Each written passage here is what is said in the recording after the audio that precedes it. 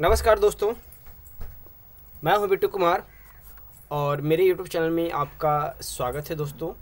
16 वर्ष से कार्यरत फर्जी शिक्षक शिक्षिका को निगरानी ने दबोचा, कार्रवाई बांका ज़िले के 50 शिक्षक अभ्यर्थी 50 शिक्षक और निगरानी विभाग के अभी भी रडार पर हैं।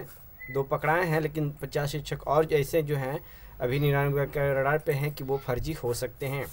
2021 में निगरानी विभाग ने छः फर्जी शिक्षक पकड़ा था। तो चलिए इस खबर को विस्तार से बताते हैं। देख सकते हैं शिक्षिका कुमारी नीलम और इधर शिक्षक केशव चंद्र यादव जो हैं गिरफ़्तार शिक्षकों के प्रमाण पत्र फर्जी मिले हैं।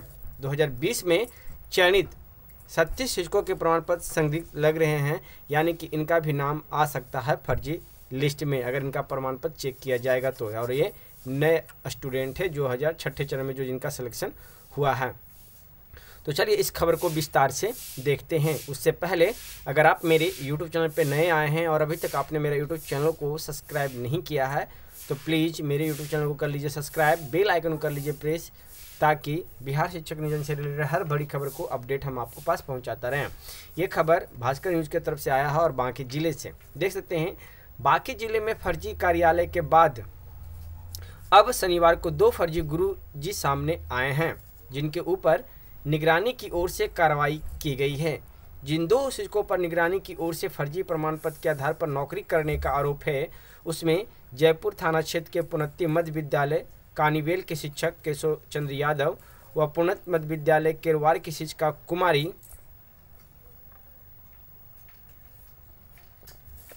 नीलम है। दोनों फर्जी प्रमाण पत्र पर नौकरी कर रहे हैं। शिक्षक व शिक्षिका को गिरफ़्तार भी कर लिया गया है। दोनों फर्जी शिक्षक के ऊपर बांका ज़िले के जयपुर थाना में प्राथमिकी दर्ज की गई है। यह कार्रवाई निगरानी बांका भागलपुर के पुनी विपिन कुमार के द्वारा दी गई है। उन्होंने दोनों शिक्षक को जाँच के दौरान फर्जी प्रमाण पत्र पर नौकरी करते हुए पकड़ा, जिसके बाद शुक्रवार को वे जयपुर आए और थाना में दोनों शिक्षक के ऊपर प्राथमिकी दर्ज कराई, जिसके बाद दोनों शिक्षक की गिरफ्तारी निगरानी व जयपुर पुलिस के द्वारा संयुक्त रूप से की गई है।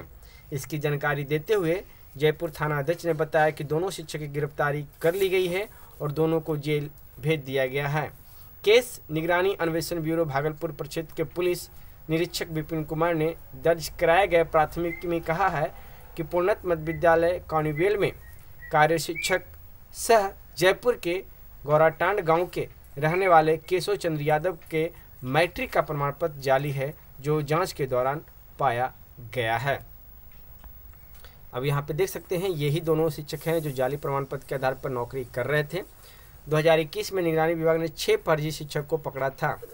जानकारी हो कि निगरानी के द्वारा शिक्षक नियोजन में फर्जीवाड़ा कर बहाल होने वाले शिक्षकों पर कार्रवाई पिछले दो हज़ार से लगातार की जा रही है।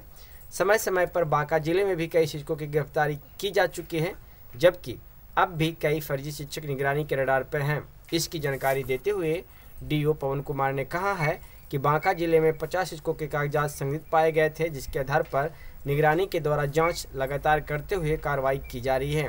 बांका ज़िले में पूर्व में भी कई फर्जी शिक्षक पर प्राथमिकी व गिरफ्तारी हुई है।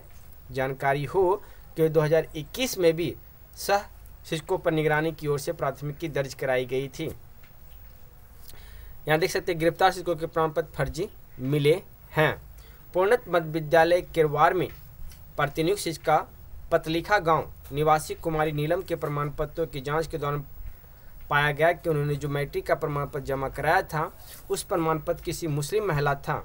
उसी प्रमाण पत्र के आधार पर उन्होंने इंटर की परीक्षा पास की है। जाँच के दौरान नीलम का प्रमाण पत्र फर्जी पाया गया, जिसके बाद दोनों शिक्षक शिक्षिका के विरुद्ध प्राथमिकी दर्ज कराई गई।